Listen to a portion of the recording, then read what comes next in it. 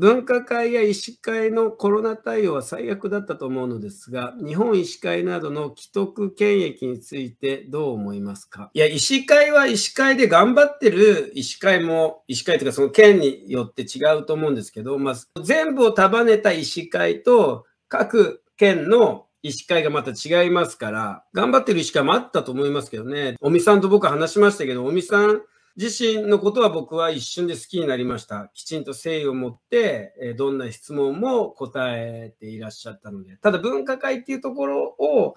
僕もあの、しっかりと知らないですが、公金が入った病院、厚生労働省管轄の公金が入った病院は、もっとコロナ病床をきちんとこの有事の際にこういう感染症がこういうふうになった時に、国主導で公衆衛生が危機的な状況になった時には動かなきゃいけないっていう病院を指定していて、なので、普段からそこには公金が流れている。なので、その公金が入っている病院は、もっとコロナの時に病床を作るべきだったんじゃないかなとは思います。コロナじゃない人も治療しなきゃいけないから、コロナばっかりにかかってられないんですよ、コロナばっかりで動けないんですよっていう病院は、少なくともあの税金をもらっているんであれば、税金はあの全部返すべきかなと思いますね。だって、その公衆衛生危機の時に国主導で動けるっていうことを前提としてお金が流れているはずなので、日本医師会の既得権益が何なのかがちょっとわからないので、お答えできずにすいません。